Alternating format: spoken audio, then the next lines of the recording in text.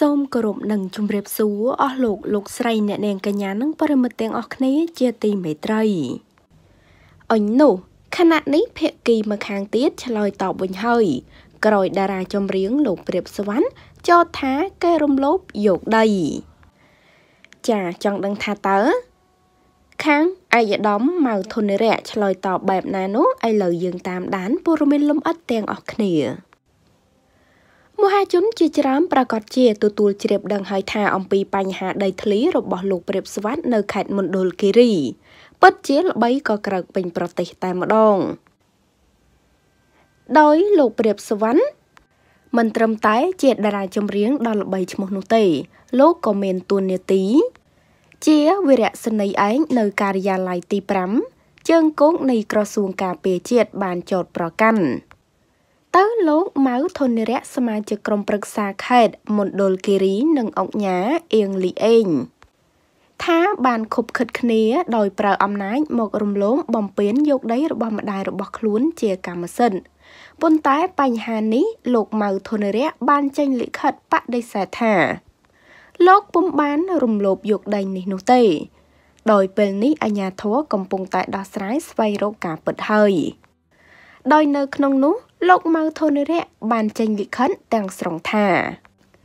ព្រះរាជាណាចក្រកម្ពុជាជាតិសាសនាព្រះមហាក្សត្រលិខិតស្រាយបំភ្លឺខ្ញុំបាទឈ្មោះម៉ៅធនរៈសូមជម្រាបស្រាយបំភ្លឺដល់សារព័ត៌មាននិងសាធារណជនទាំងអស់ឲ្យបានជ្រាបថា ដៃមួយកន្លែងនៅខេត្តមណ្ឌលគិរីដែលលោកហេងឡុងប្រធានសមាគមសិល្បៈស្ម័គ្រចិត្តជួយសង្គមបានថ្លែងក្នុងបណ្ដាញសង្គម Facebook ថា លោកព្រាបសវັດត្រូវបានរូបខ្ញុំរំលោភយកដីយ៉ាងអយុត្តិធម៌នោះមិនមែនជាការពិតទេសូមជម្រាបជូនថានៅថ្ងៃទី2ខែកញ្ញា ឆ្នាំ2020កន្លងមករដ្ឋបាលសាលាក្រុងសែនមនោរមធ្វើការអញ្ជើញខ្ញុំបាន និងលោកព្រាបស្វាត់តំណាងឲ្យឈ្មោះ ផូសំណាង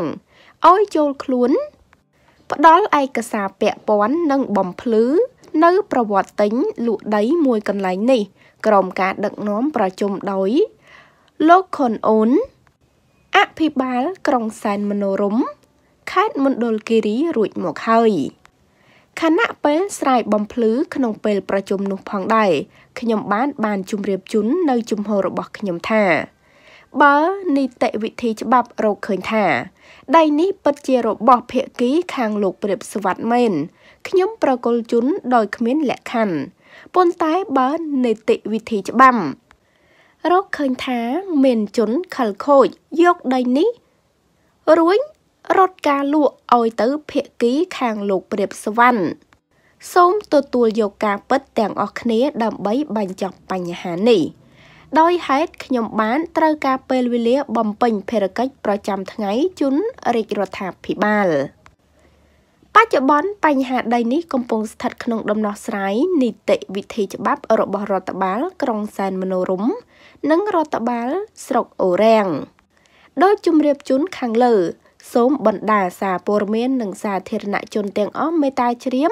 និងឈប់មានការយល់ច្រឡំសូមអរគុណ ចានេះគឺជាលិខិតស្រាយបំភ្លឺរបស់ឯកឧត្តមម៉ៅធននិរៈក្រោយពេលដែលខាងភៀកគីលោកព្រាបស្វាត់ចោទថា បានរំលោភយកដីនៅខេត្តមណ្ឌលគិរី ដោយអត្តន័យសំខាន់នោះគឺមានជនខិលខូចលួចរត់ការយកដីរបស់លោកម៉ៅធនរៈលូកអុយភៀកគីខាងលោកព្រាបសវណ្ណនេះបើយោងតាមខ្លឹមសារនៃការបកស្រាយរបស់ឯកឧត្តម ប៉ុន្តែរឿងរ៉ាវពិតបែបណា យើងនឹងរងចាំមើលទាំងអស់គ្នា ថាចុងក្រោយ អ្នកណានឹងក្លាយជាម្ចាស់ដីតកតងនឹងព័ត៌មាននេះដែរក៏សូមបញ្ចប់តែត្រឹមនេះសូមចុច Subscribe និងរូបកណ្ដឹងដើម្បីទទួលបានព័ត៌មានថ្មីៗជាបន្តទៀតសូមអរគុណសូមគោរពលា